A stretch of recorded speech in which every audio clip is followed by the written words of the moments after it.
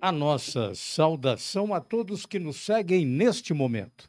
Este é o ponto de vista do nosso editorial neste dia 14 de dezembro, uma terça-feira. Inacreditável, mas é verdade. Também é revoltante. Não deu nem 72 horas e o motorista do ônibus da Paraty, que Segundo a polícia militar, estaria ele, motorista alcoolizado, matando no sábado cedo dois idosos. Ele já se encontra em liberdade. Olhem para mim e vejam minha cara de espanto, de assustado, não com a liberdade do motorista, mas com o descaso da justiça brasileira e o desrespeito para com os familiares daqueles que morreram. Que exemplo nós estamos dando para o futuro deste país, miseravelmente destruído pela negligência, pela omissão, pela imprudência. São argumentos de liberdade que se contrapõem ao homicídio escancarado e que nos leva a pensar que o motorista não é culpado por ter jogado o ônibus sobre dois idosos. E culpados, sim. Culpados são os dois idosos que não deveriam estar lá naquele momento conversando sobre as coisas que ambos construíram ao longo das suas próprias vidas mesmo que fosse para tratar de galinhas, tartarugas, molhar verduras ou colher frutas num terreno, não era para os dois idosos estarem lá. Eles não tinham esse direito, absolutamente. Eles deveriam estar em casa, dentro dos seus quartos, cada qual em sua casa. Afinal, o lugar de idoso dentro da concepção que nós estamos vendo, liberdade é só para os mais jovens. Idoso não. Idoso tem que ficar trancafiado dentro de casa. Sem direito, inclusive, de andar ou ficar durante algum tempo numa calçada de via pública.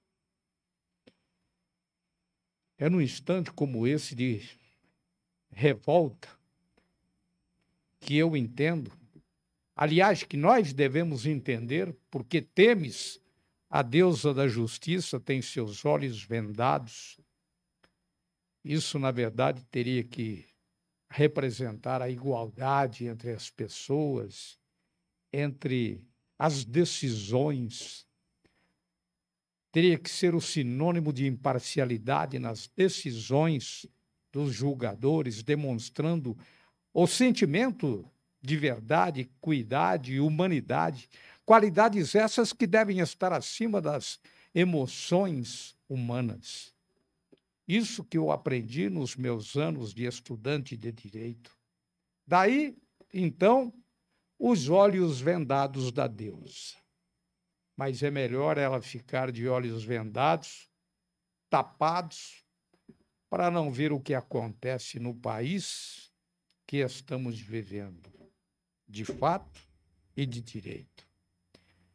Eu fico também entristecido com o desrespeito que se pratica contra policiais que, no cumprimento do seu dever, estes policiais levam o cidadão a fazer um teste do bafômetro. Estes policiais apuram que houve a ingestão de bebidas. Conclui-se um laudo apontando positivo e nem a prova é levada em conta dentro do meu entendimento de leigo, a prova então serve ou não serve? Ou serve para quê? Não serviu?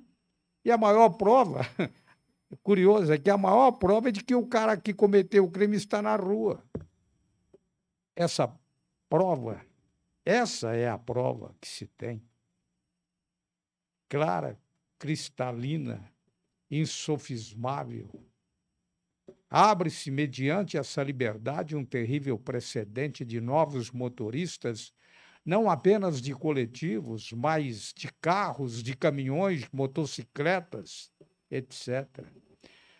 Motoristas que, se estiverem alcoolizados, matando de forma estúpida, e horas depois, estes motoristas vão ganhar as ruas, eles estarão se deliciando com o conforto das suas casas, enquanto isso, gente de bem, famílias humildes, vamos encontrar chorando entre quatro paredes.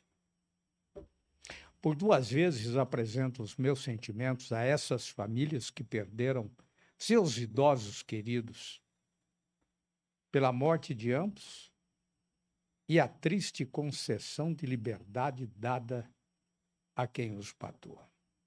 Ponto final. Este é o ponto de vista do nosso editorial.